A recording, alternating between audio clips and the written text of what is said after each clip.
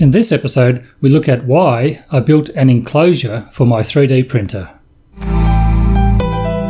Since buying my first ever 3D printer just a few weeks ago, I've noticed I've started to develop a cough.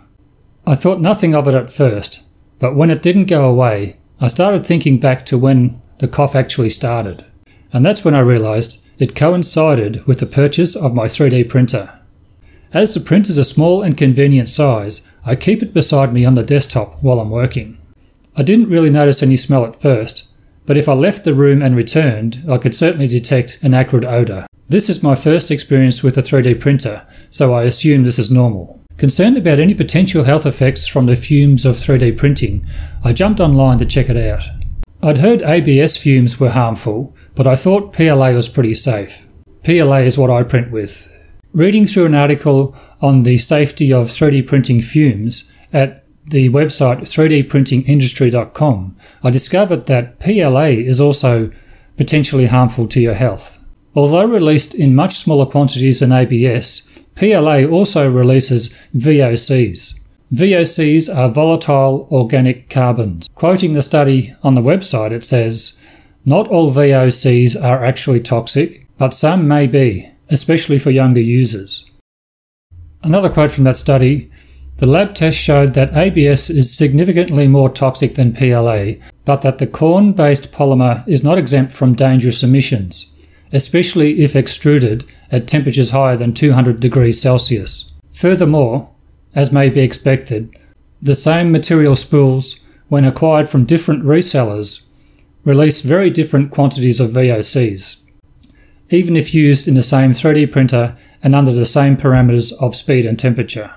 The test also demonstrated that the time necessary for the nanoparticle concentration in the air to go back to standard levels was between 10 and 30 minutes after the extrusion process has stopped. So potential toxins can hang around in the air for 10 to 30 minutes after the printing process has stopped. Reading on further through the study, they recommend some steps to help reduce your risk to 3D printing fumes. For example, working in well ventilated rooms, the ideal solution would be using an air ventilation system capable of moving three times the room's volume of air in one hour. This means that a room measuring 100 cubic metres should have a system capable of displacing 300 cubic metres of air in one hour. The study also states when using closed chamber 3D printers, it may be possible in the near future to implement an active carbon filtration device, and the team is actively working toward development of a device specifically tailored for 3D printers. So the takeaway from this study is that we should not panic and stop using 3D printers, but we need to be careful about how we use our printers and where we use our printers. In my case, I don't have any air conditioning. Um, the room only has a ceiling fan and some windows for ventilation. Uh, when I open the windows, I do notice that the the fumes and smell gets blown through the whole house. So I haven't been doing that, um, but uh, that caused me to start to consider how I could at least try and protect myself from any potential harm that these fumes could be doing, and hence the enclosure for my 3D printer. I was thinking about what material I could use to build my enclosure when I remembered I had a large sheet of hollow polycarbonate in the garage. The polycarbonate sheet was left over from a patio we had built. Uh, the builders just cut off the top section and used that for a, an arch infill. And there's a large sheet left over, which was about a metre by three metres. Now that I had the building materials sorted, I set about designing the enclosure. I wanted it to be pretty airtight, giving easy access to the printer, and most of all, I wanted the enclosure to be easy to build. I wanted to keep the number of pieces down, and also bend the sheet into corners as one piece where I could, rather than sticking multiple pieces of polycarbonate sheets together. I found a good spot for the printer in front of a window, took measurements, and got to work figuring it all out in Blender. After I'd drawn up what I needed to do, I cut the hollow polycarbonate sheet up into the required pieces, using a circular saw. I clamped the sheets down by using a bed end as a straight edge. Yeah, know, it's not ideal, but it's all I could find at the time. I later realised I could have just scored and snapped the sheet of polycarbonate into pieces. Would have made my life a lot easier if I'd known that at the start of the job. And it would have saved me from trying to clean out the chips and shavings left behind from the circular saw in the flutes of the polycarbonate. I still haven't got them all out of the sheet. So if you're going to try and cut these sheets yourself for your own project, I'd recommend using a knife, not a circular saw. I joined the pieces together using Gorilla Tape.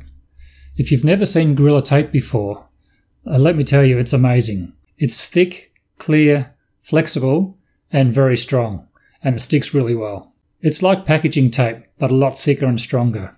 I initially just taped the sheets at the corners. I was worried about not having enough tape. Then went back and taped all the seams to ensure a good seal. This is a scrap piece of the hollow polycarbonate sheet I used.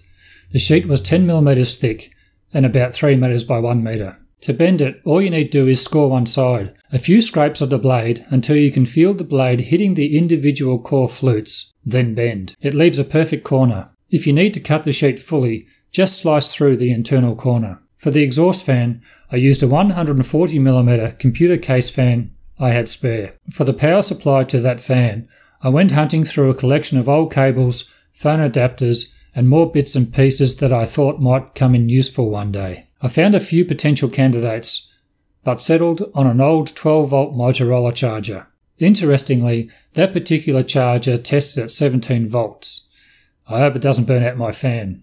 I tested the fan and charger together and all seems okay. I joined the cables just by twisting the wires together, don't have any solder, and then used some shrink wrap sleeve to ensure everything was protected and stays together. When moving the printer to the new enclosure, I noticed that the printer had left scorch marks on the top of my desk. Wow, this, this printer gets pretty hot. And it could explain some of the acrid odour I'm smelling. I've put some large stoppers on the bottom of the printer to lift it higher and try and get some airflow under there. And I've cut a slot in the front of the enclosure panel.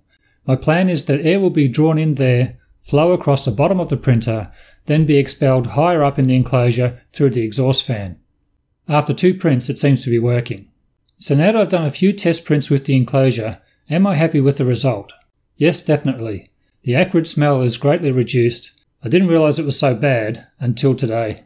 I had a print going yesterday and the fan was doing a pretty good job, but then the wind picked up, the wind direction changed, and we had 80 km an hour gusts blowing directly in at the fan. It was actually spinning the fan backwards and blowing fumes back into the enclosure and out of the bottom of the case. Even though it wouldn't overcome those unusual windy conditions we had yesterday, I ended up installing a second fan to help with the expulsion of the air. But those wind conditions are pretty unusual, and I'm not expecting them to cause a problem in the future. If it does turn out that the wind does come from that direction often, I'll look at building some sort of cover for the outside of the fan to protect it from the wind. Another added bonus is the printer is now much quieter. The hollow polycarbonate sheets do a very good job of insulating the sound. A nice side effect I wasn't expecting. So what are the downsides? Well, for one, I can see this polycarbonate sheet being a dust magnet, already evidenced by bits of polycarbonate shavings being stuck inside the core flutes. Other than that, I can't see any downfalls. It's quieter, cleaner, and looks pretty good in my opinion. Another bonus will be better bed adhesion on colder days. It was 32 degrees Celsius when printing yesterday, and the fans seem to keep everything under control. So what can we take away from this little exercise? Number one is that you need to protect yourself and your family from the possibility of harmful fumes from your 3D printer, whether you're printing ABS, PLA, or some other filament. For me personally, all in all, I'd say the 3D printer enclosure was a success and well worth doing. But I think I may end up moving the printer and enclosure further away from me, possibly out to the garage. Better safe than sorry. Well, that's it for today. I will be releasing my cheery reindeer model tomorrow, so watch out for that video. Thanks very much for watching, my YouTube friends from all over the world, and I'll see you later.